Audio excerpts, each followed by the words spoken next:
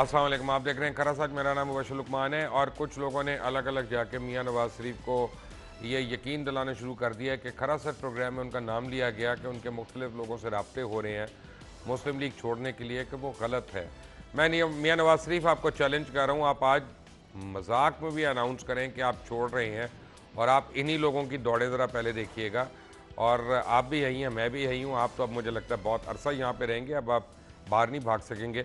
लेकिन कुछ चीज़ों का मुझे जवाब ज़रूर दीजिएगा कि ये आपकी बेटी मरियम जो हैं, इनके असासों में गैर फितरी तौर पर इजाफा कैसे हो रहा है? मसन 1991-92 में चौदह लाख चौहत्तर हज़ार रुपये के असासे थे उनके, जो एक साल बाद ज़माना तालब इलमी के दौरान ही उन्नीस सौ बानवे से तिरानवे में तीन करोड़ पाँच लाख हो गए।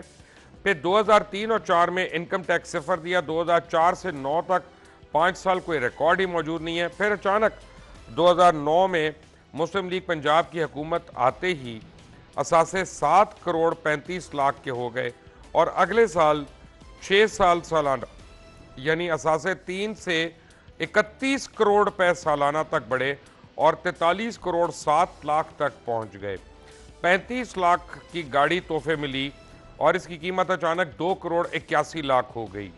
2010-11 में तीन अशारिया एक सात मिलियन 2011 में इक्यावन अशारिया छः मिलियन 2012 में पैंतीस अशारिया आठ छः मिलियन और 2013-14 में इनको एक सौ बानवे मिलियन रुपए के गिफ्ट मिले। 2014-15 में 310 मिलियन के गिफ्ट मिले और फिर 2015-16 में एक मिलियन के गिफ्ट वसूल किए। और फिर कहती हैं, मेरी बैरून मुल्क तो क्या? पाकिस्तान में भी कोई प्रॉपर्टी प्रॉपर्टी नहीं। मैं तो अपने वालिद के पास रहती हूँ। और अब पता चला कि उनके शोहर को 1500 रियाल 1500 रियाल माहाना शरीफ ख़ानदान देते रहे अपने साथ रहने के लिए। अल्लाह ताला ऐसी ज़िंदगी से बचाए लोगों को। लेकिन एक बात आपको मैं कंफर्म कर रहा हूँ कि बेगम कुलसूम नवाज़ ने वज़ी अजम बनने से माजरत कर ली है। बेगम कुलसूम नवाज़ ने वज़ी अजम बनने से माजरत कर ली है और उसकी बड़ी रीज़न जो है, उनकी सेहत है। और बताया जा रहा है कि उनकी सेहत जो है वो काफ़ी उसमें प्रॉब्लम्स हैं, ख़ासतौर उनको घुटनों और टांगों के मसले हैं। अल्लाह ताला उनको शिफा दे, यानी बीमारी की तो कोई किसी के लिए ख्वाहिश नहीं कर सकता। लेकिन आज जब पार्लिमानी मीटिंग हुई तो चौधरी निसार दोबारा उसमें गायब रहे। तीन नाम अब उस पर गौर हो रहे हैं। मियाँ नवाज़ शरीफ ने पहले यह फैसला कर लिया कि वो डटे रहेंगे, वो डटाई के साथ हर एक को झूठा कहते रहेंगे, सुप्रीम कोर्ट को गलत कहेंगे जीआईटी को तो कह रहे हैं झूठ वो। इदारों को ड्रैग करेंगे, इदारों को पामाल करेंगे, लेकिन अगर इसी असना में सुप्रीम कोर्ट ने उनको डिसक्वालीफाई कर दिया तो तीन नाम जो शॉर्ट लिस्ट किए गए, सबसे ऊपर, मैं कंफर्म कर रहा हूँ, सबसे पहले जो कैंडिडेट की चॉइस है वज़ीर अजम की, वो ख्वाजा आसिफ साहब हैं। ख्वाजा आसिफ के नाम कुरान निकला है वज़ीर अजम उनसे बहुत खुश हैं, उनके दस्त रास्त हैं, और उनके ख्याल में वो उनकी अदम मौजूदगी में वजारत उज़मा के सही कैंडिडेट हैं। एहसन इकबाल का नाम दूसरे नंबर पे है, लेकिन जो है, उनको ये समझा जा रहा है कि वो शायद उतने एग्रेसिव नहीं, जितना उनको होना चाहिए वज़ी अजम के दिफा के लिए। और एक तीसरा नाम कि अगर किसी से ना बनी और उनकी क्लियरेंसेस ना हुई तो फिर शायद खाकान अब्बासी को ये मौका दिया जा सकता है। अनफॉर्चुनेटली हमजा शबाज शरीफ कैप्टन सफदर इन सारों के नाम इस लिस्ट से अब निकल गई हैं। बहुत इंटरेस्टिंग डेवलपमेंट हुई है।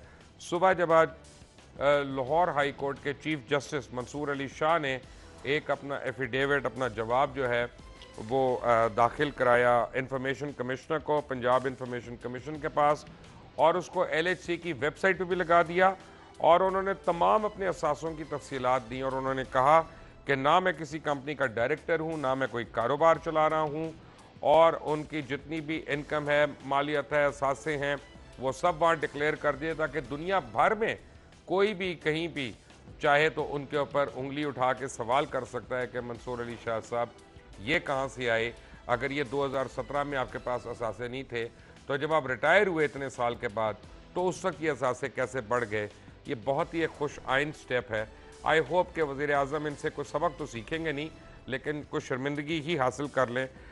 बात यह है यहाँ पे, मैं बताऊँ आपको कि पाकिस्तान की अब बैन अवी सतह पर हर जगह तजलील होना शुरू हो गई है जग हसाई शुरू हो गई है। कल मैंने खबर तो दी थी, लेकिन आज जब मैंने उसकी रेमिफिकेशंस देखी तो मुझे दुख हुआ कि मैं पाकिस्तानी हूँ, जिसका वज़ी अजम ऐसा है कि जिसको दुनिया भर में लोग अब चोर के नाम से देख रहे हैं, याद कर रहे हैं, क्योंकि पूरी दुनिया में जो प्रेस है, वो इस वक्त मरीम नवाज़, उनके चूज़ करदा फॉन्ट्स और वज़ी अजम की करप्शन से भरा हुआ है। हुआ ये कि हकूमत ने मुश्किल सूरत हाल से निकलने के लिए बैरूनी मदद की कोशिश कर दी। इस ज़मन में उन्होंने मुतहदा अरब इमारात, सऊदी अरेबिया, अमेरिका, बरतानिया और कई ममालिक से रबते किए। लोगों ने इनके फ़ोन उठाना बंद कर दिए। वजारत खारजा को ख़ास तौर पर उनको ख़त अरसाल करने पड़े। फैक्स भेजनी पड़ी। कि खुदा के लिए इन नंबरों से वज़ी अजम जो हैं, वो आपको कॉल कर रहे हैं।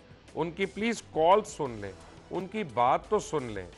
और उन्होंने आगे ठेंगा दिखा दिया, उन्होंने इनकार कर दिया। लेकिन मेरे पास एक और करप्शन की बहुत बड़ी दास्तान है इस वक्त। उससे पहले मैं तारुफ कराऊँ, मेहमान बहुत सीनियर लोग हैं अपनी अपनी पार्टी में बड़ी उनकी अहमियत है। पाकिस्तान तहरीक इंसाफ के जनाब असद उमर साहब मेरे साथ हैं।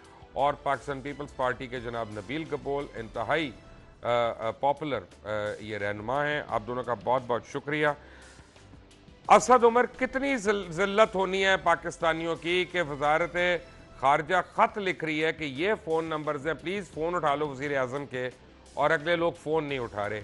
नाउ वॉट सिलसिला चल रहा है ना जी। देखें, जब पहली दफ़ा ख़त गया होगा जे आई टी का, दुबई की हुकूमत को कि हमारा वज़ी अजम ये क्लेम कर रहा है कि ये अलहली की ट्रांजेक्शन हुई और 12 मिलियन रियाल हुए। आ, तो वो उन्होंने इन्वेस्टिगेशन की और पता चला झूठ साबित हुआ। फिर उन्होंने कहा कि जी उन्होंने कहा कि स्क्रैप की सूरत में हम जद्दा ले गए थे यहाँ से मशीनरी वो झूठ साबित हुआ तो दुबई की हुकूमत के सामने हम एक्सपोज हो गए। फिर ब्रिटिश वर्जन आइलैंड को ख़त लिखा गया कि जी जो पैनमा के पेपर्स के अंदर डिस्क्लोजर आया था कि कि ब्रिटिश वर्जन आइलैंड की अथॉरिटी ने ये कंफर्म किया था कि मरीम साहिबा जो हैं वो बेनिफिशियल ओनर हैं। तो क्या उसको ये चैलेंज कर रहे हैं? सुप्रीम कोर्ट में हमारे वज़ी अजम कहते हैं कि ये झूठा खत है। तो उन्होंने कहा नहीं जी ये तो बिल्कुल हकीकत पर मबनी है और ये सच्चा खत है। तो उनके सामने हम एक्सपोज हो गए। फिर वो बरतानिया के जो एक्सपर्ट्स थे फॉरेंसिक एक्सपर्ट उन्होंने देखा कि एक नए कमाल करा दिया हमारे वज़ी अजम ने कि वो फ़ंड जो ईजाद ही नहीं हुआ था उसके अंदर हम्म। एक जाली एफिडेविट बना लिया। तो हम तो बड़ी मेहनत करके शरीफ ख़ानदान जो है, वो सिर्फ़ पाकिस्तान नहीं, बल्कि दुनिया के सामने एक्सपोज हो रहा है। और ज़ाहिर है क्योंकि वो वज़ी अजम चाहे हमें पसंद हो, ना हो, लेकिन वज़ी अजम की कुर्सी पे बैठे में तो साथ साथ उनके मुल्क का नाम भी रगेदा जा रहा है। आपके पास भी ग्रीन पासपोर्ट है, मेरे पास भी ग्रीन पासपोर्ट है तो हम सब इसकी लपेट में आ रहे हैं। नबील कबोल साहब, चार साल में दो दफ़ा सिर्फ़ पार्लिमानी पार्टी की मीटिंग हुई, आज तीसरी मीटिंग थी। उसमें भी चौधरी निसार एबसेंट थे। आप इतने सीनियर सियासी कारकुन हैं लीडर हैं आपको क्या समझ आती है इन दोनों बातों से? देखें जो अंदरूनी कहानी ये है कि आ, मुस्लिम लीग नून के जो कायद हैं नवाज़ शरीफ साहब उनके पास जो एक मैंडेट दिया गया था आ, वो अब जो है नहीं रहा है। अब जो जो कौमी असम्बली के रुकन हैं वो टाइटैनिक जब डूबती है तो ये चूहे जंप करते हैं तो उन्होंने जंप करना शुरू कर दिया है। तो मैं समझता हूँ कि, लेकिन अभी तक वो आसरे में उनको बिठाया गया है कि कुछ नहीं होगा। मंडे को आप लोग देखोगे कि सुप्रीम कोर्ट में कोर्ट में हम इसको जो है जीआईटी को चैलेंज करेंगे और कुछ नहीं होगा। इस वजह से बहुत सारे मेंबर्स आज खड़े होकर तालियाँ भी बजा रहे थे। इसमें मैंने देखा 50 परसेंट जो तालियाँ बजा रहे थे यही 50 परसेंट एम जो हैं वो दूसरी जमातों से भी रबता कर रहे हैं और वो हम्म। खुद चाहते हैं कि ये प्राइम मिनिस्टर इस्तीफ़ा दे। क्योंकि प्राइम मिनिस्टर ऑफ़ पाकिस्तान अगर चोर समझा जा रहा है पूरी दुनिया में तो पाकिस्तानी नेशन को जो है आ, उनकी जो है जगह जगहसाई हो रही है। जैसे आपने कहा कि दो मुल्क के प्राइम मिनिस्टरों ने जो है कॉल तक रिसीव नहीं किया है। तो पाकिस्तान की जो बेजती हो रही है और एक ज़माने में जो हम सुनते थे कि ग्रीन पासपोर्ट की इज़्ज़त नहीं है, लेकिन जब पाकिस्तान न्यूक्लियर स्टेट बना तो वो इज़्ज़त बहाल हुई। लेकिन आज वही हम चीज़ देख रहे हैं कि भारतीय मीडिया वो डिफेंड कर रही है नवाज़ शरीफ को। भारतीय मीडिया कहती है कि अगर नवाज़ शरीफ हट जाएगा इस तरीके से तो फिर जो तहरीक कश्मीर है, उसमें और तेज़ी आ जाएगी। इसका मतलब ये है कि नवाज़ शरीफ रिकावट थे कश्मीर की तहरीक के अंदर। फिर उन्होंने कहा कि अगर नवाज़ शरीफ हट जाते हैं इस तरीके से तो फ़ौज मज़बूत हो जाएगी। इसका मतलब ये है कि भारत को जो खौफजदा है, वो हमारे पाकिस्तान की फ़ौज से हैं और उनका सजन जो है, वो नवाज़ शरीफ है। तो मैं समझता हूँ कि ये इस तरह की चीज़ें अब खुल के आवाम के सामने आ गई हैं और अगर ये सोचते हैं कि प्राइम मिनिस्टर साहब जो हैं वो नवाज़ शरीफ ही रहेंगे तो मैं समझता हूँ कि बच्चा बच्चा जिसको, जिसने आठ जमात भी पास किया है, वो भी जानता है कि जिस कोर्ट के अंदर जाली डिग्री के ऊपर बाई इलेक्शन हुए हैं डिसकॉलीफिकेशन हुए हैं मेंबर ऑफ़ द पार्लियामेंट के वहीं उसी कोर्ट के अंदर जो है, आपने जाली कागजात जमा किए हैं, जो कि प्रूव हो चुके हैं कि आप लोगों ने जाली कागजात जमा किए हैं। आपकी तो डिस्कालिफिकेशन बनती है दस साल के लिए प्राइम मिनिस्टर नवाज़ शरीफ जो है वो डिस्कालीफाई होगा। अब उसके बाद क्या होगा? उसके बाद का खौफजदा ये ज़्यादा है कि उसके बाद नून को इंटैक्ट कैसे रखा जाए? तो मैं समझता हूँ कि नवाज़ शरीफ के बाद नून जो है वो तीन हिस्सों में बढ़ जाएगी। अभी से ही ग्रुपिंग मौजूद है। आज चौधरी निसार मीटिंग में नहीं आए। वो लाख बहाना करे कि मैं मसरूफ़ था, लेकिन चौधरी निसार के साथ ठीक ठाक एम एन एज़ हैं जिनकी सोच यही है कि वो नहीं चाहते कि टकराव हो इदारों में। वो नहीं चाहते हैं कि सुप्रीम कोर्ट के फैसले को नहीं माना जाए और सड़कों पर निकल, निकलने की जो ये बातें कर रहे हैं। ये मैं यकीन दिलाता हूँ कि पाकिस्तान की जो अपोजिशन है, वो बहुत मज़बूत है और हमने सबने जितनी भी अपोजिशन पार्टीज़ है, हमने ये फैसला किया है कि अगर ये इस फैसले को नहीं मानते हैं तो हम बाहर रोड सड़कों पर निकलेंगे और हम डिफेंड करेंगे अपनी जुडिशरी को और हम देखते हैं कि ये किस तरीके से नवाज़ शरीफ इस फैसले को नहीं मानते हैं।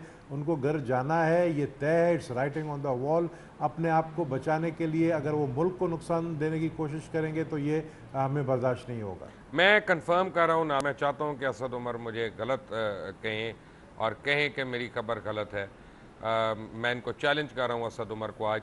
मेरे पास कंफर्म खबर है कि 26 एम एन ए छब्बीस M N A sitting M N A's ruling party के गवर्नमेंट के ऐसे हैं जो सीक्रेटली पाकिस्तान तहरीक इंसाफ के साथ फुल रबते में हैं और वो इनको यकीन दिला रहे हैं कि जी बजट सेशन पा, बजट पास होते ही हम आपकी यानी रिज़ाइन करके आपकी सफ़ों में आके खड़े हो जाएँगे। क्या असद उमर साहब मेरी खबर सही है कि गलत है? जी नंबर तो मैं आपको एग्जैक्ट नहीं बता सकता लेकिन मैं ये कंफर्म कर सकता हूँ कि मुस्लिम लीग नून के एम जो हैं वो वो भी रबते के अंदर है। मैं आपको अपनी कल की सिर्फ़ बात बता सकता हूँ मुबशर में चंद मुस्लिम लीग नून के एमएनएस के साथ मुलाकात हुई, तीन थे। तो उनसे मैं सवाल पूछ रहा था तो उनका जवाब जो था, तीनों की मुतफ़ा राय ये थी कि इस्तीफ़ा दे देना चाहिए वज़ी अजम को। तीनों की मुतफ़ा राय ये थी कि वज़ी अजम देंगे नहीं इस्तीफ़ा, और तीनों की मुतफ़ा राय ये थी कि बेड़ा गर्क कराएँगे पार्टी का। तो इस वक्त जो है, ये तकरीबन कंफर्म न्यूज़ है कि मेजॉरिटी जो है मुस्लिम लीग नून के एम एन एस की, उनकी ख्वाहिश ये है कि मियाँ साहब जो हैं वो रिज़ाइन करें और किसी और को नामजद करें वज़ी अजम क्योंकि मुस्लिम लीग नून पे तो केस है नहीं। केस तो शरीफ ख़ानदान के ऊपर है। तो वो तो कैजुअल्टी बनने जा रहे हैं, जो तसादम की फ़ज़ा बनाना चाहते हैं मियाँ साहब जो इंशाल्लाह बना नहीं पाएँगे, उनको शायद समझ में नहीं आ रही है, उन्नीस सौ अठानवे नहीं है कि सुप्रीम कोर्ट पर हमले कर दे। लेकिन मियाँ साहब की कोशिश ज़रूर यही नज़र आ रही है कि अगर मैं निकलता हूँ इधर से तो अकेला ना निकलूँ, मैं सिस्टम को साथ लेके निकलूँ, और वही होगा मियाँ साहब के साथ जो पहले हो चुका है। उनको उसी को याद दिलाना चाहिए कि मियाँ साहब, आप अपनी बर्मिंगम में जो आपने तकरीर की थी ना, आज से दस बारह साल पहले, सिर्फ़ वही याद करें जहाँ पे आपने खड़े होकर ये कहा था कि जब मुशर्रफ के साथ वक्त आया तो मुझे बड़े सबने कहा कि जी, कदम बढ़ाओ नवाज़ शरीफ, हम तुम्हारे साथ हैं। और जब मैंने कदम बढ़ाया और पीछे देखा तो पीछे बंदा कोई नहीं नज़र आ रहा था। तो मियाँ साहब फिर दोबारा वही होने जा रहा है। तो इस दफ़ा अपने ऊपर भी, अपने ख़ानदान पर भी रहम करें और मुल्क के ऊपर तो ख़ास तौर पर रहम करें। और इससे पहले कि जलील करके जाएँ तस्वील के साथ बाहर निकाले जाएँ। आप इस्तीफ़ा दे दें, अभी भी आखिरी मौका। आपको एक साल पहले दे देना चाहिए था। लेकिन अब तो बिल्कुल सिर्फ़ रंगे हाथों नहीं पकड़े गए आपके खिलाफ गवाहियाँ तमाम दुनिया से आ चुकी हैं। अब रहम करें और इससे, इसके बजाय वो और बुरा लगेगा कि वज़ी अजम की गद्दी से सुप्रीम कोर्ट आपको फारिग करे। आप खुद रिज़ाइन करके जाएँ, अपनी मर्ज़ी का नामजद करें और क्योंकि ये भी मैं आपको बता दूँ, ज़्यादा अगर इन्हें खींचा ना तो मुस्लिम लीग नून से भी जो जानशीन होगा, वो फिर मियाँ साहब की मर्ज़ी से नहीं होगा, वो बिल्कुल ही इनके हाथ से निकल जाना। नबील कबूल साहब, दो चीज़ों का कल वज़ीर अजम हाउस में असूली तौर पर फैसला किया गया। एक ये कि ऑनरेबल जजेस जो हैं सुप्रीम कोर्ट के, उनके खिलाफ इतना प्रोपेगेंडा किया जाए कि हम मजबूर कर दें सुप्रीम कोर्ट को बेंच में तब्दीली करने के लिए। और दूसरा ये कि हर वज़ीर जो है और हर दानश्वर उनका, वो बात करते करते फ़ौज को बुरा भला कहे, ताकि किसी न किसी तरह फ़ौज को हम इस मसले में इन्वॉल्व कर दें, जबकि वो अपने आप को बिल्कुल इससे ला ताल्लुक़ करके बैठी हुई है।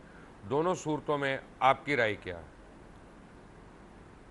देखिए, मुबशर साहब यू एक्चुअली जो इनका मेन जो टारगेट है ना मुस्लिम लीग नून का, और ये जो रूमर्स फैला रहे हैं, वो यही फैला रहे हैं कि फ़ौज जो है ये जुडिशरी को हमारे ख़िलाफ़ इस्तेमाल कर रही है।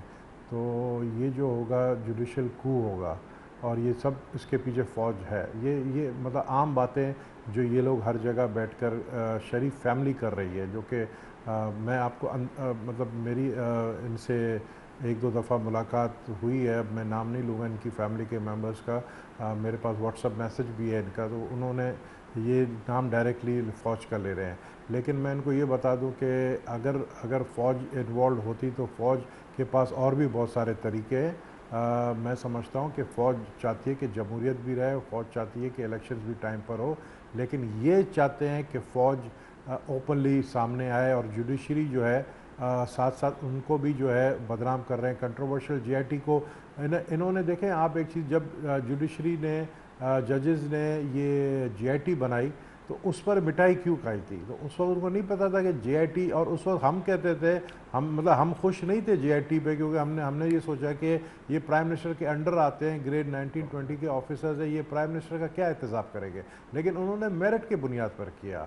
उन्होंने जो है तारीख में आप अपनी नाम जो है उसको रकम कर दिया। और मैं समझता हूँ कि मंडे को जो जो ये ये बेंच है आ, मैं यही एडवाइस करूँगा कि जितना आप डिले करेंगे इतना पाकिस्तान के लिए जो है नुकसानदेह होगा कि अगर यही प्राइम मिनिस्टर रहेंगे। तो आ, अगर आपको जो है जीआईटी को चैलेंज करना है उनकी रिपोर्ट को तो आपके पास ऐसे मवाद होने चाहिए। आप टाइम ज़ाया ना करें कोर्ट का।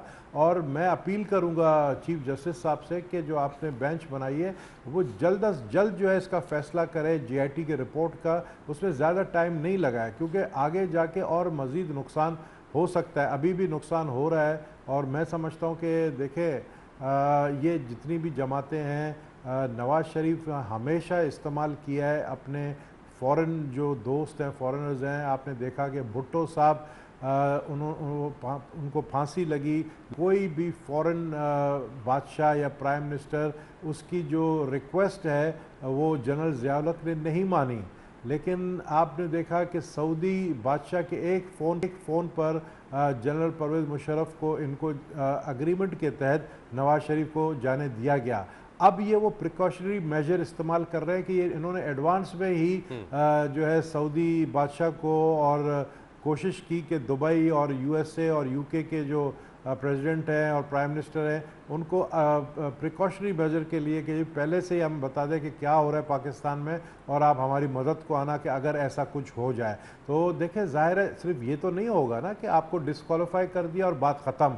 आपको एक एक पैसे का हिसाब देना होगा। आपका नाम ई e पे डलेगा आपकी गिरफ्तारी होगी लेकिन अफसोस ये है कि आपने आप अपने साथ अपनी पूरी फैमिली को जो है आप बिल्कुल ये देखें ये कानून है। ये कानून है कि आप डिस्कालीफाई सिर्फ़ नहीं होंगे क्योंकि आपके ऊपर करप्शन का चार्ज लगा है आपके ऊपर चोरी का चार्ज लगा हुआ है। और आपने जो है गलत बयानी की है कोर्ट में आपने गलत बयानी कौमी असम्बली में की है आपने जो है जाली कागजात जमा किए हैं तो आप सिर्फ़ डिस्कालीफाई नहीं होंगे आपको सज़ा भी मिलेगी।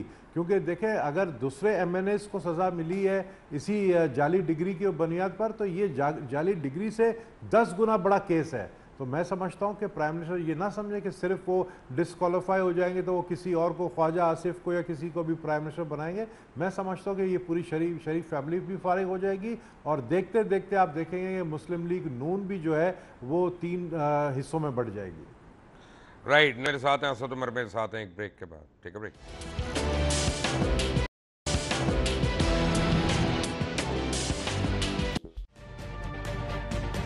तजुर्बा भी, सोच विचार भी, जहाँ लाजिम हो, वहाँ तकरार भी। अहम कौमी मसाइल पर होती है बहस, डीएनए में। पेश होती हैं बड़ी खबरें और उनके अंदर की खबर। होती है गहरी सोच विचार। होता है फिर गहरा तजिया। यूँ बनता है एक program debate news analysis DNA हम आवाम हैं या रियाया? हमारे हुकूक की पामाली आखिर कब तक? अरबपति हुक्मरान और फाका का शवाब। क्या गुर्बत नाकाबले हल मसला है? सियासत बैंक अकाउंट्स की गुलाम क्यों? अवामी सियासत के जमाने क्या हुए? सियासत बराए अवाम या बराए दौलत? हमारी ज़िंदगी से जुड़े सवालों के जवाब देखिए प्रोग्राम सिचुएशन रूम में। देखिए प्रोग्राम सिचुएशन रूम जुमे से इतवार शाम सात बजकर तीन मिनट पे, सिर्फ़ 24 न्यूज़ एच पर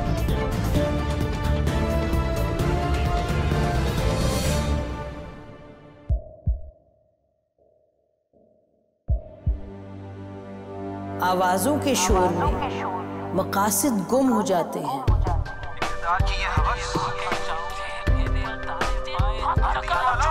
तकरार की तलखी में बात बनती नहीं, बिगड़ती है। लेकिन हम तलखी से नहीं, मुकालमे से बात बढ़ाएँगे। हम हर अहम खबर की तह तक पहुँचेंगे, लेकिन सबूत की रोशनी। हम हर बात करेंगे। लेकिन हकायक के साथ और दलाइल के साथ। नसीम जहरा एट एट में। देखिए program Naseem Zahra eight eight जुमे से इतवार रात आठ बजकर तीन मिनट पे सिर्फ़ 24 न्यूज़ एच डी पर।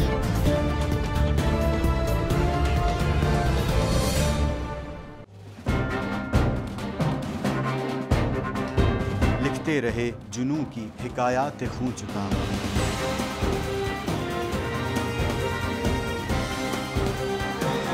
कलम और स्क्रीन तक का तवील तजुर्बा एक भरपूर सहाफती तारीख के साथ प्रोग्राम मुजाहिद लाइव। देखिए प्रोग्राम मुजाहिद लाइव, पीर से जमेरात, शाम सात बजकर तीन मिनट पे, सिर्फ़ 24 न्यूज़ एच डी पर।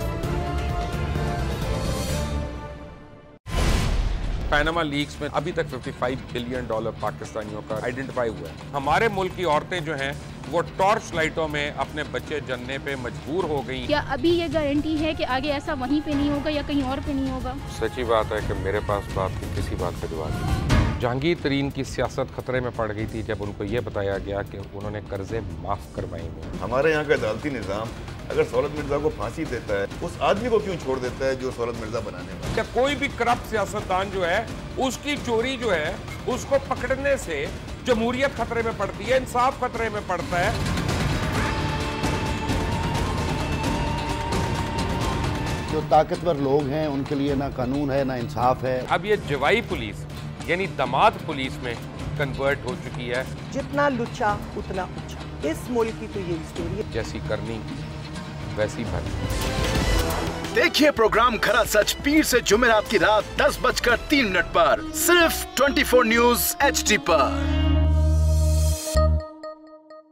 इंशाल्लाह हम कौम की तकदीर बदल देंगे। इंशाल्लाह लोड शेडिंग खत्म कर देंगे एम्प्लॉयमेंट लेकर आएँगे इंफ्रास्ट्रक्चर बिल्ड करेंगे। तो मैं इन बातों पर यकीन ना करूँ क्योंकि वो असम्बली में बात कर रहे हैं और ये सब सियासी बयान है इनकी कोई अहमियत नहीं है। क्या कहेंगे आप? अभी आप एक प्रोग्राम कर रहे हैं दूसरा इसी तरह करेंगे तो आपके थोड़ा सा ना उसमें लफ्जों में फ़र्क पड़ जाएगा। आपने भी तारीख पढ़ी है और तारीख बशरियत में अब तक यही होता आया है कि माँ बाप ने अपनी औलाद को बचाने के लिए बड़ी कुर्बानी एक दौर ऐसा भी आएगा कि एक शख्स अपनी वजारत उजमा बचाने के लिए पूरी दुनिया में अपने बच्चों को चोर डाकू और लुटेरा कहलवाएगा। कलभूषण यादव आपने इंडिया का मंकी पकड़ा हुआ है उसको दुनिया के आगे प्रेजेंट क्यों नहीं करते? यूएन में चौदह साल बाद पाकिस्तान के किसी सरबराह ने खड़े होकर कश्मीर पे ज़ोर मचाया। कुलभूषण का नाम नहीं लिया।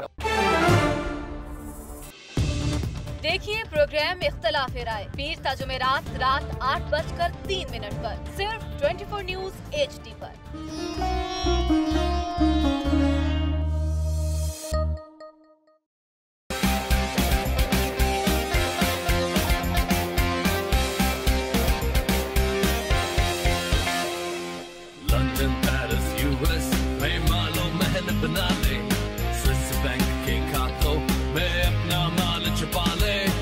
सड़कों पर लाकर जीता तो मेरा नाम शबाज शरीफ नहीं वेरी वालों को गिरा दो हमेशा हुकूमत के रिंग पिस्टन बैठ गए हुए हैं और कोई शर्म होती है और कोई हया होती है लैपटॉप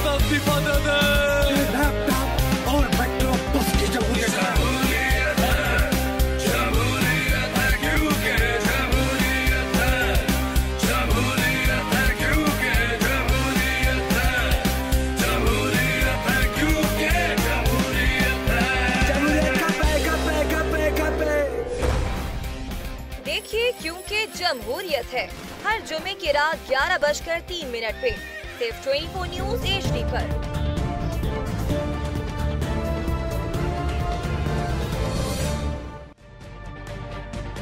तजुर्बा भी, सोच विचार भी, जहाँ लाजिम हो, वहाँ तकरार भी। अहम कौमी मसाइल पर होती है बहस, डीएनए में। पेश होती हैं बड़ी खबरें और उनके अंदर की खबर। होती है गहरी सोच विचार। होता है फिर गहरा तजिया। यूँ बनता है एक program debate news analysis DNA हम आवाम हैं या रियाया? हमारे हुकूक की पामाली आखिर कब तक? अरबपति हुक्मरान और फाका का शबाब। क्या गुर्बत, नाकाबले हल मसला है? सियासत, बैंक अकाउंट्स की गुलाम क्यों? अवामी सियासत के जमाने क्या हुए? सियासत बराए अवाम या बराए दौलत? हमारी ज़िंदगी से जुड़े सवालों के जवाब देखिए प्रोग्राम सिचुएशन रूम में। देखिए प्रोग्राम सिचुएशन रूम जुमे से इतवार शाम सात बजकर तीन मिनट पे सिर्फ़ 24 न्यूज़ एच पर।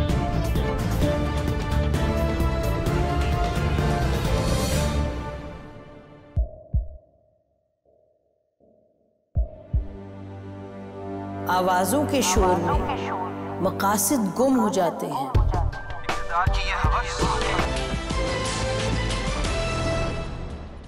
Welcome back from the break और एक बात मैं आपको बताना चाहता हूँ कि छः साढ़े छः साल पहले जब इसी प्रोग्राम में मैंने मेफेयर अपार्टमेंट्स का ज़िक्र किया था, उनके नाम बताए थे नेस्कोल और नीलसन के नाम बताए थे तो लोग हँसते थे। आज वही हुक्मरान जो हमारा ख़ानदान है, उसके गले का फंदा बने हुए हैं।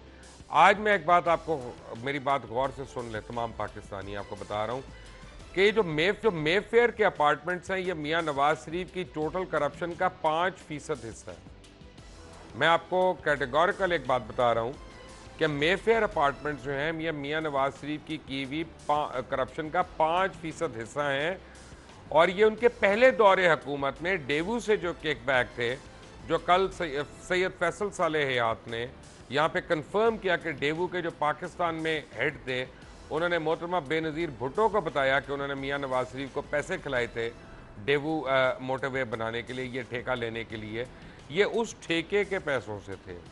अब असद उमर जो हैं, वो क्योंकि कॉपरेट सेक्टर से आई हैं और बड़े बड़े बोर्ड रूम्स को ये हेड करते रहे हैं, मैंने इनको एक छोटी सी सवाल करना है और मुझे तो आम आदमी के अल्फाज में जवाब चाहिए। येलो कैप स्कीम कर्ज उतारो, सस्ती रोटी, दाने school, Ashiana housing scheme, metro bus, laptop scheme LNG scandal, Bahawalpur solar, Nandipur orange train, Khanpur canal hydro project. मैं इसमें पीआईए स्टील मिल, रेलवे, इन तीनों को बाहर निकाल रहा हूँ। तकरीबन 780 बिलियन रुपए के प्रोजेक्ट्स, असद उमर। और अगर मैं उसके ऊपर 600 बिलियन जो आईपीपीस को दिया गया, वो मैं डाल दूँ और 400 बिलियन, जिसका अभी डेफिसिट है जो देना है आईपीपीस को अगले डेढ़ दो महीने के अंदर तो 1750 बिलियन रुपए की जो खर्चा है, आपको मैं बताऊँ, एक भी एक्सटर्नल ऑडिट नहीं है। क्या as a citizen of this country मैं हक बजानिब नहीं हूँगा कहने पे कि ये 1700 बिलियन चोरी हुआ है? सर, बिल्कुल ये जो मियाँ साहब को तकरीबन तीन साल, साढ़े तीन साल पहले मैंने बोलना शुरू किया था कि पाकिस्तान के पास इस वक्त वज़ी अजम नहीं है, पाकिस्तान के पास है, मुग़ल अजम है। वो बादशाहत के तरीके से हुक्मरानी करते हैं, जिसमें कोई ऑडिट, कोई कदगन, कोई कानून जो है ना, वो रास्ते में नहीं आता। और ये जो आप मिसालें दे रहे हैं, इसी के अंदर एक और जोड़ लीजिए। इन्होंने ख़ुद जाके सुप्रीम कोर्ट के अंदर ये बताया कि हमारे देरीना बिज़नेस मरासिम है ये कतरी शहजादे के ख़ानदान से।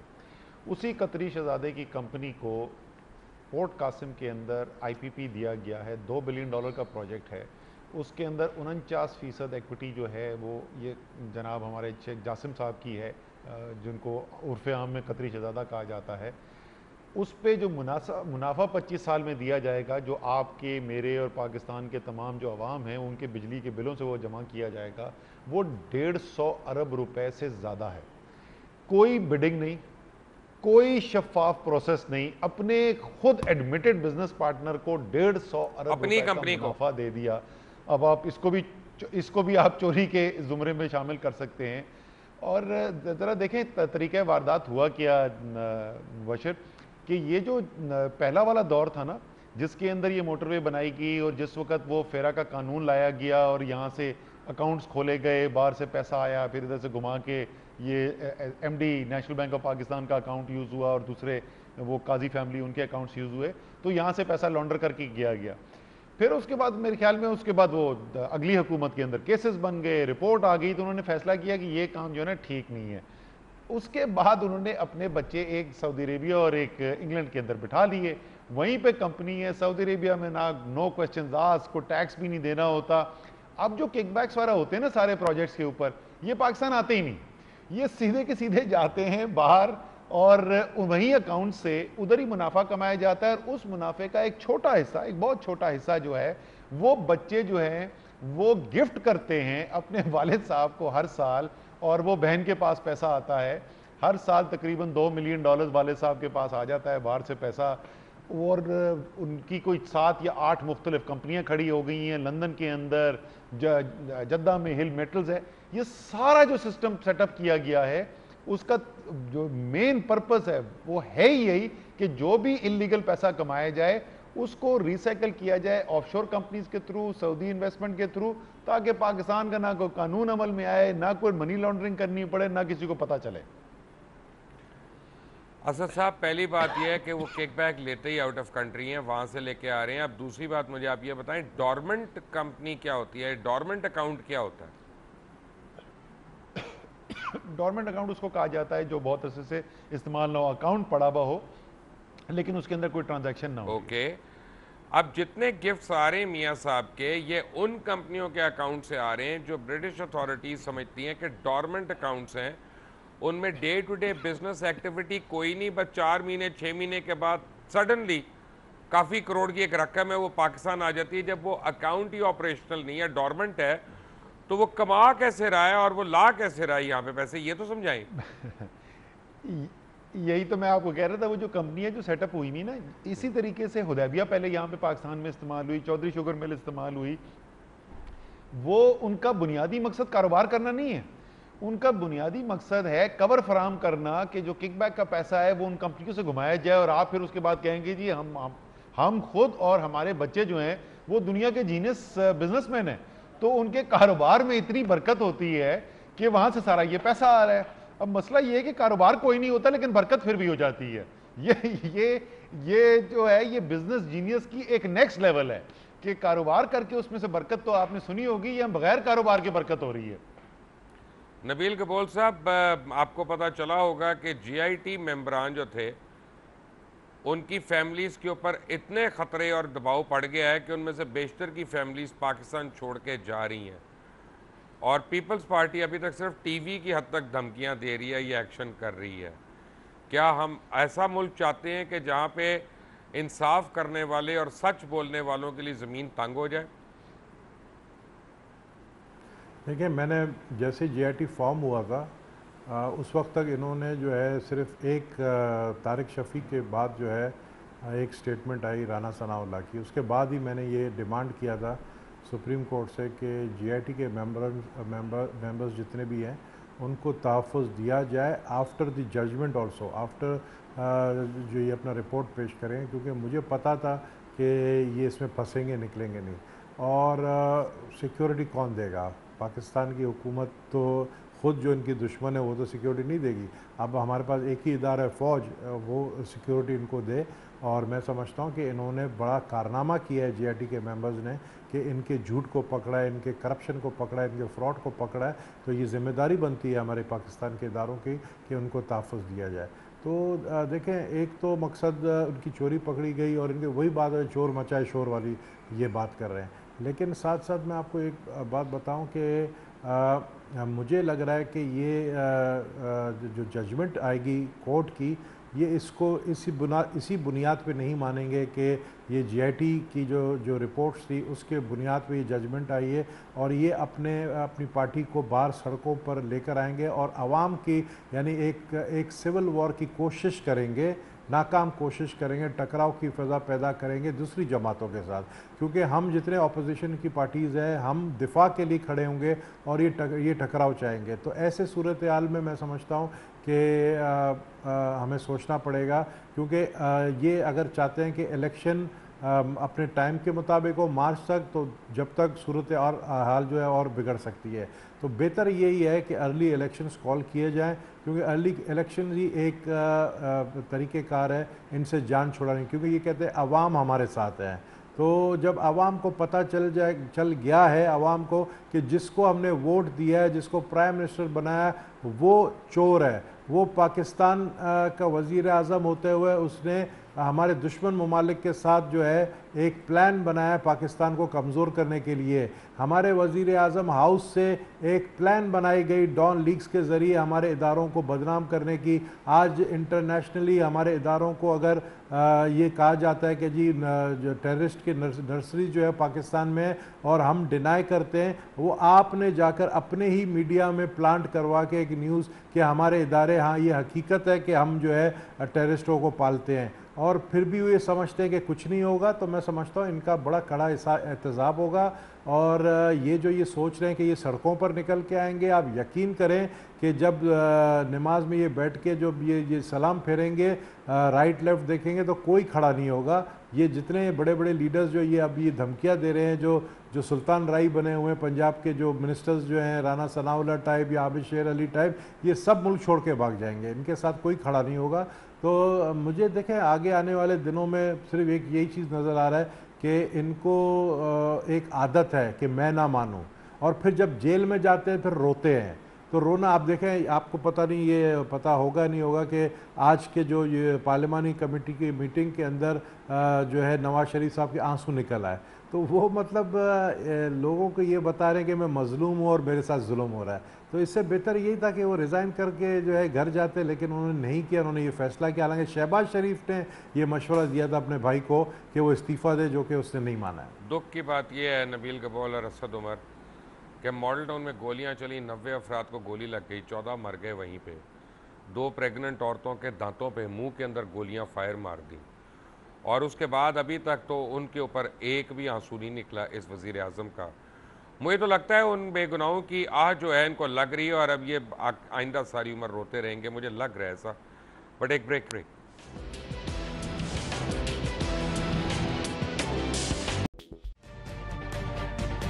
तजुर्बा भी, सोच विचार भी, जहाँ लाजिम हो, वहाँ तकरार भी।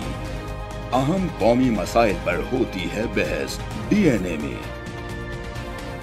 पेश होती हैं बड़ी खबरें और उनके अंदर की खबर। होती है गहरी सोच विचार। होता है फिर गहरा तजिया। यूँ बनता है एक program.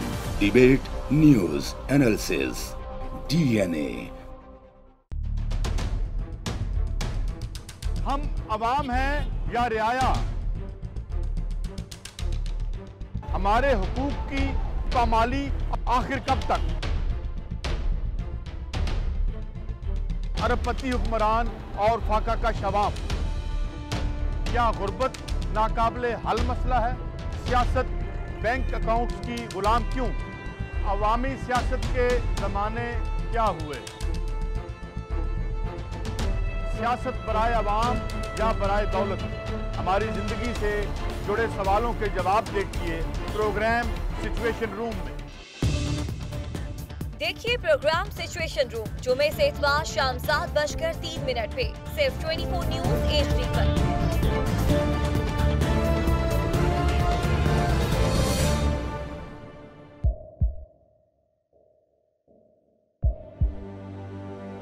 आवाजों के शोर में मकासद गुम हो जाते हैं।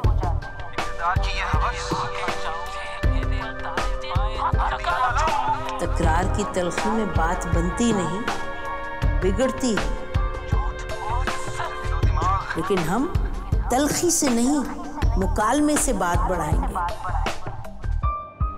हम हर अहम खबर की तह तक पहुँचेंगे, लेकिन सबूत की रोशनी। हम हर बात करेंगे। लेकिन हकायक के साथ और दलाइल के साथ। नसीम जहरा एट एट में।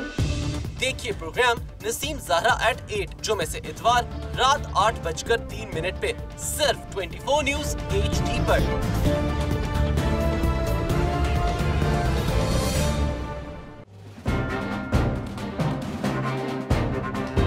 लिखते रहे जुनू की हिकायात खूं चुका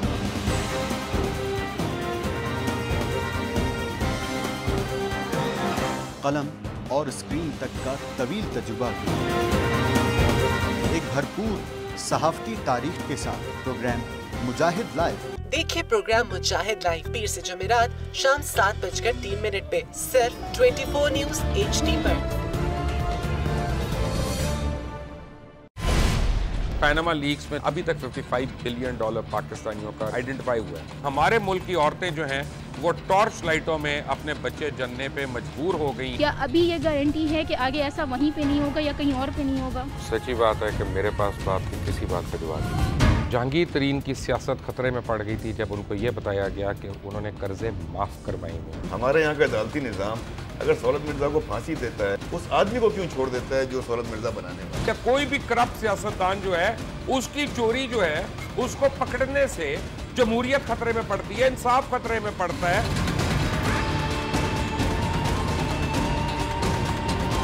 जो ताकतवर लोग हैं उनके लिए ना कानून है ना इंसाफ है। अब ये जवाई पुलिस यानी दमाद पुलिस में कन्वर्ट हो चुकी है। जितना लुच्चा उतना ऊँचा इस मुल्क की तो यही स्टोरी है। जैसी करनी। वैसी भर देखिए प्रोग्राम खरा सच पीर से जुमेरात की रात दस बजकर तीन मिनट पर, सिर्फ़ 24 न्यूज़ एच पर। इंशाल्लाह हम कौम की तकदीर बदल देंगे। इंशाल्लाह लोड शेडिंग खत्म कर देंगे एम्प्लॉयमेंट लेकर आएँगे इंफ्रास्ट्रक्चर बिल्ड करेंगे। तो मैं इन बातों पर यकीन ना करूँ क्योंकि वो असम्बली में बात कर रहे हैं और ये सब सियासी बयान है इनकी कोई अहमियत नहीं है। क्या कहेंगे आप? अभी आप एक प्रोग्राम कर रहे हैं दूसरा इसी तरह करेंगे तो आपके थोड़ा सा ना उसमें लफ्जों में फ़र्क पड़ जाएगा। आपने भी तारीख पढ़ी है और तारीख बशरियत में अब तक यही होता आया है कि माँ बाप ने अपनी औलाद को बचाने के लिए बड़ी कुर्बानियाँ एक दौर ऐसा भी आएगा कि एक शख्स अपनी वजारत उजमा बचाने के लिए पूरी दुनिया में अपने बच्चों को चोर डाकू और लुटेरा कहलवाएगा कलभूषण यादव आपने इंडिया का मंकी पकड़ा हुआ है तो उसको दुनिया के आगे प्रेजेंट क्यों नहीं करते? यूएन में चौदह साल बाद पाकिस्तान के किसी सरबराह ने खड़े होकर कश्मीर पे ज़ोर मचाया। कुलभूषण का नाम नहीं लिया। देखिए प्रोग्राम इख्तलाफ राय। पीर जुमेरात रात आठ बजकर तीन मिनट पर सिर्फ़ 24 न्यूज़ एच पर।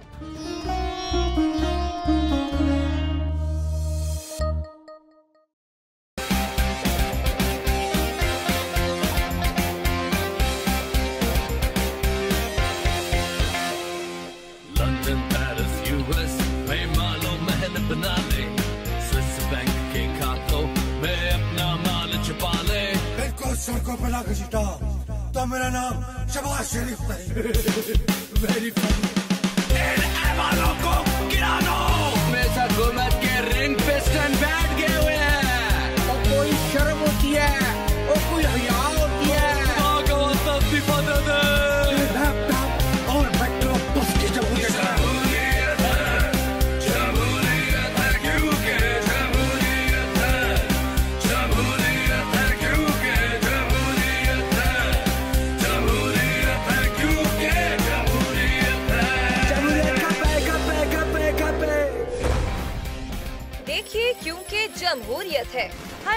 की रात ग्यारह बजकर तीन मिनट पे। सिर्फ़ 24 न्यूज़ एच पर।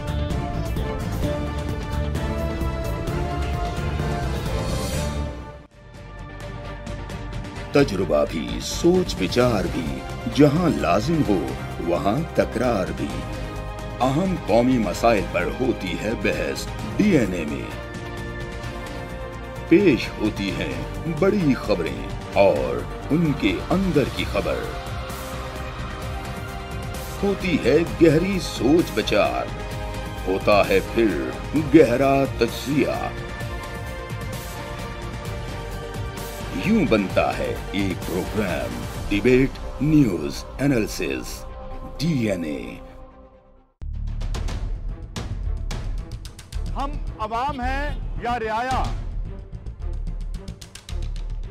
हमारे हुकूक की पामाली आखिर कब तक? अरबपति हुक्मरान और फाका का शवाब क्या गुर्बत, नाकाबले हल मसला है? सियासत, बैंक अकाउंट्स की गुलाम क्यों? अवामी सियासत के जमाने क्या हुए? सियासत बराए अवाम या बराए दौलत? हमारी ज़िंदगी से जुड़े सवालों के जवाब देखिए प्रोग्राम सिचुएशन रूम में। देखिए प्रोग्राम सिचुएशन रूम जुमे से इतवार शाम सात बजकर तीन मिनट पे सिर्फ़ 24 न्यूज़ एच पर।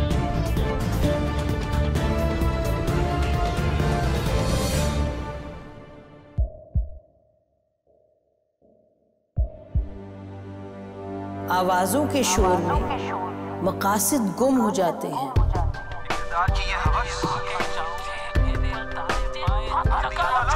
तकरार की तलखी में बात बनती नहीं।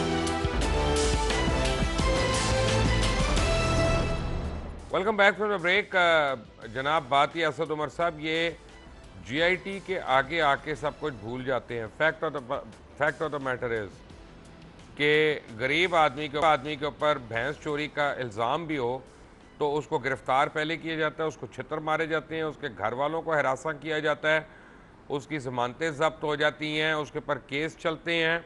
वो लॉकअप में चला जाता है जेल में चला जाता है इकरार जुर्म करे तब भी ना इकबाल जुर्म करे तब भी। यहाँ पे हो ये रहा है कि मैं ना मानूँ मेरी मर्ज़ी का तफ्तीशी अफसर लाओ ये तफ्तीशी अफसर नहीं मुझे पसंद ये तमाम अफसरान मुझे नहीं पसंद मैंने नहीं खेलना जजेस बदलो आ, और बाहर बैठे हुए आप प्रोटोकॉल्स में आ रहे हैं सरकारी गाड़ियों में आपके बच्चे आ रहे हैं यानी इस मुल्क की कौम जो है वो बिल्कुल मर चुकी है मॉरली या हमारे लीडर्स मर चुके हैं, या दोनों में सख्त वाकई नहीं है कि खड़े होकर रोक सकें कि ये इससे ज़्यादा जुल्म नहीं होगा। मैं मुबशर अक्सर कहता हूँ कि पाकिस्तान में जो सबसे बड़ा जो जुल्म हुआ है ना, वो शर्म की मौत है।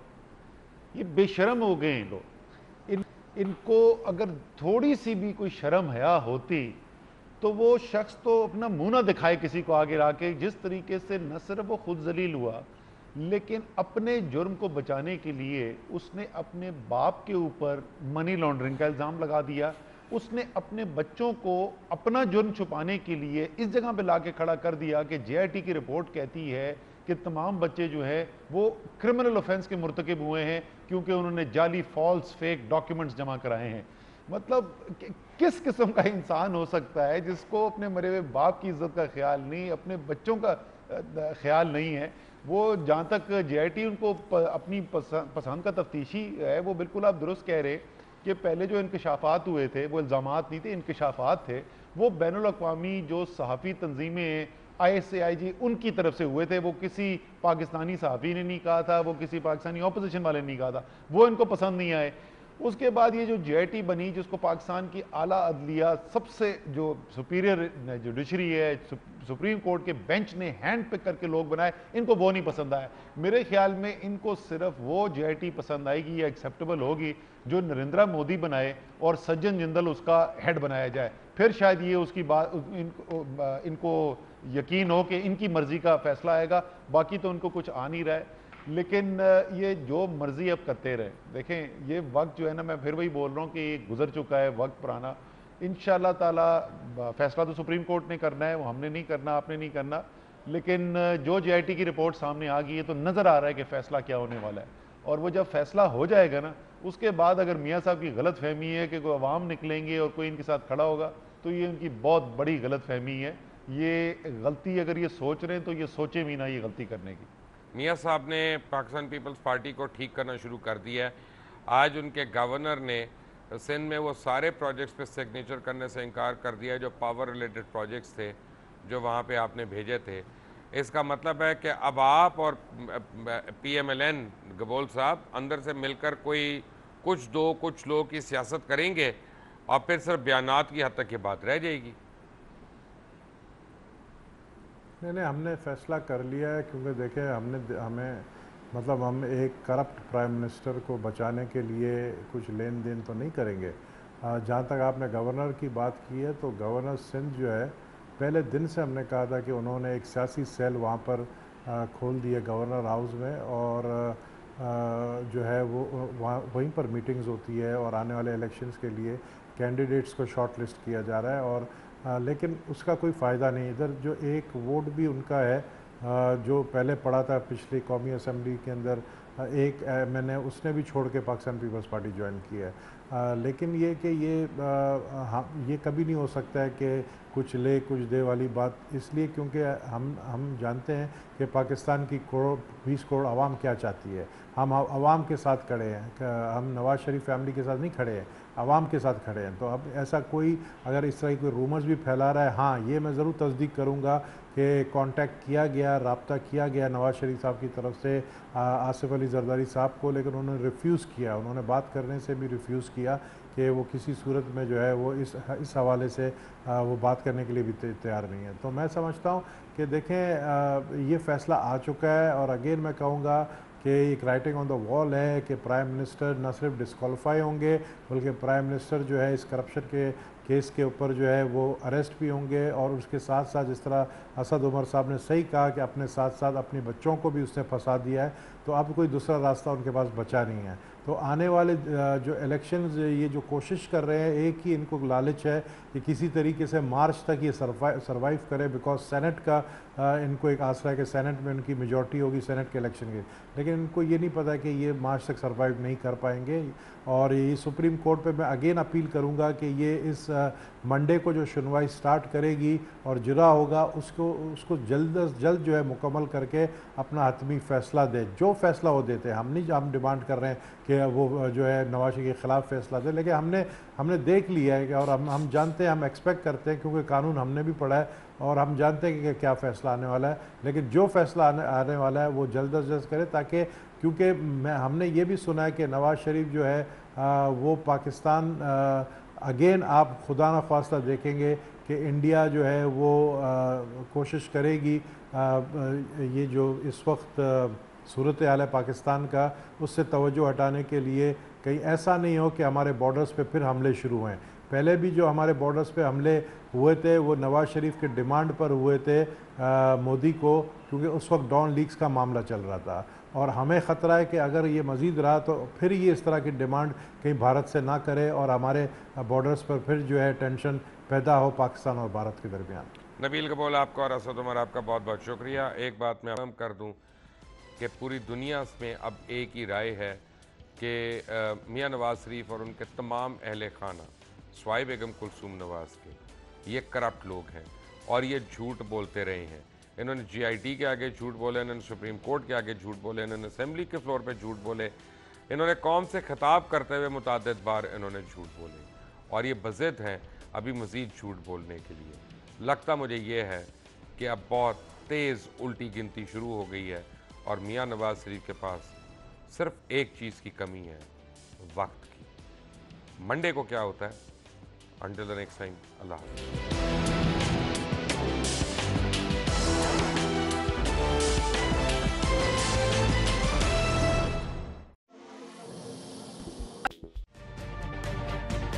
तजुर्बा भी